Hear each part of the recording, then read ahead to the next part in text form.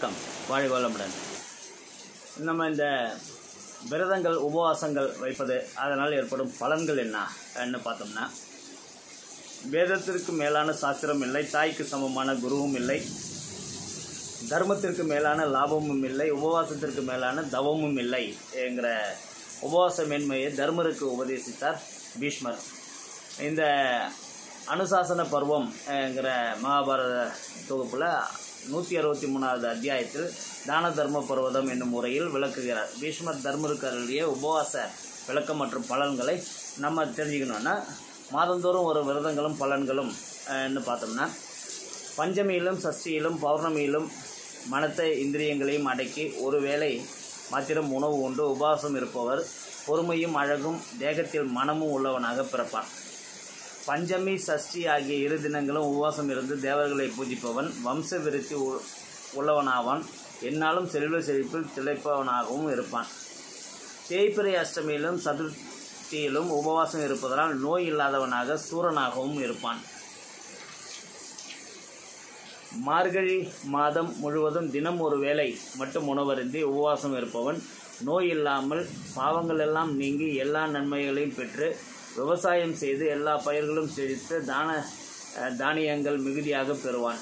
தை மாதம் முழுவதும் தினமும் ஒருவேளை மட்டும் உணவருந்தி உபவாசம் இருப்பவன் சிறந்த பாக்கியமும் அழகும் புகழும் உள்ளவனாக பிறப்பான். மாசி மாதம் முழுவதும் தினம் ஒரு வேளை மட்டும் உணவருந்தி உபவாசம் இருப்பவன் செல்வம் நிரம்பிய வீட்டில் பிறந்து சுற்றத்தார்களெல்லாம் விரும்பும் தகுதியை அடைவான். பங்குனி மாதம் முழுவதும் தினம் ஒரு வேளை மட்டும் உணவருந்தி உபவாசம் இருப்பவன் பாக்கியமும் அழகும் புகழும் உள்ளவனாக பிறப்பான். பெண்களால் விரும்பத்தக்கவனாக பெண்கள் இவனுக்கு எளிதில் வசப்படுபவர்களாகவும் இருப்பர்.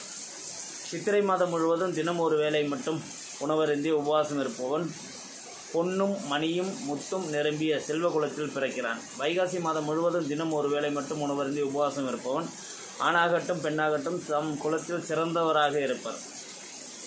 ஆனி மாதம் முழுவதும் தினம் ஒரு வேளை மட்டும் உணவருந்தி உபவாசம் இருப்போர். ஒப்பற்ற சிறந்த ஐஸ்வர்யத்தை அடைவார்கள். ஆடி முழுவதும் மாடி மா ஆடி மாதம் முழுவதும் தினம் ஒரு வேளை மட்டும் உணவருந்தி உபவாசம் இருப்பவன். தானியங்களையும் தனங்களையும் புத்திரர்களையும் மிகுதியாக அடைந்தவன் ஆவான். ஆவணி மாதம் முழுவதும் தினம் ஒரு வேளை மட்டும் உணவருந்தி உபவாசம் இருப்பவன். அழகும் செல்வமும் உள்ளவனாக எக்காலமும் சுகமாக இருப்பான்.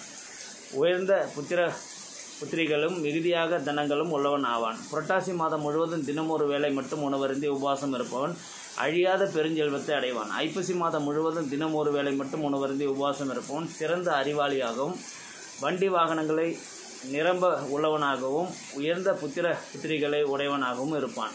கார்த்திகை மாதம் முழுவதும் தினம் ஒரு வேளை மட்டும் உபவாசம் இருப்பவன் வீரதீர சூரனாகவும் புகழ்பெற்றவனாகவும் மகிழ்ச்சியான வாழ்க்கையை உடையவனாகவும் இருப்பான்.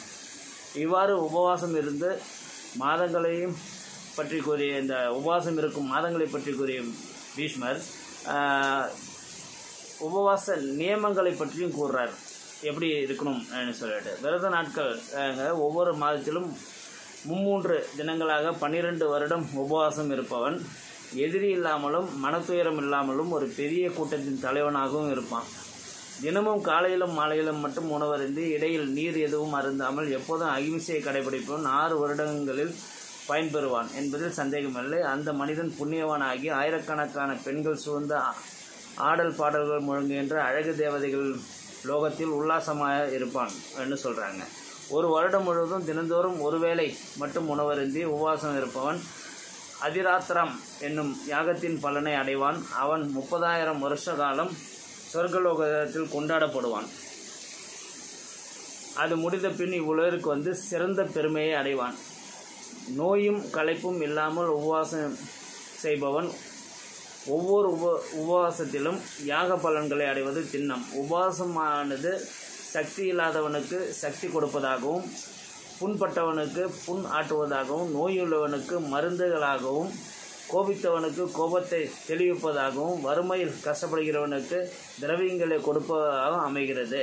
ஆனால் செல்வங்களில் சுகமாக வளர்ந்தவர்களுக்கு இது பிடிக்காது. உபவாசம் இருக்கும் மனிதனோ நோயற்றவனாகவும் நினைத்தது கைகூடி வந்தவனாகவும் பாவம் நீங்கியவனாகவும் தேகம் விட்ட பின் பரிசுத்தவனாகி அலங்காரங்கள் செய்து கொண்டு நினைத்தபடி செல்வதும் பொன்னிறமாக விளங்குவதுமாக விமானத்தில் ஏறி எல்லா உலகங்களும் சஞ்சரித்து கொண்டு உபவாசத்தின் பலனை அனுபவிப்பான். அவன் தேகத்தில் உள்ள மயிர்காலர்கள் எத்தனையோ அத்தனை ஆயிரம் வருடங்கள் அவன் சொர்க்கத்தில் மகிழ்ந்திருப்பான் என்ன சொல்கிறாங்க இந்த உபவாசத்தை பற்றி இவ்வளோ உயர்வாக சொல்கிறதுக்கான மறைபொருள் என்ன? ஏன்னா உபவாசங்கிறது ஃபாஸ்டிங் ஃபாஸ்டிங்கிறது நம் உடலை சுத்தப்படுத்துவது ரிஜமினேட் பண்ணுவதுங்கிறது தான் இதுக்குள்ளே இருக்கிற மறைபொருள். எந்த விஷயமும் நமக்கு ஆன்மீகத்தில் சொல்லியிருக்கிறாங்கன்னா அதுக்கு அடிப்படை காரணம் மருத்துவங்கிறத புரிஞ்சுக்குவோம். வாழ்க வளமுடன்.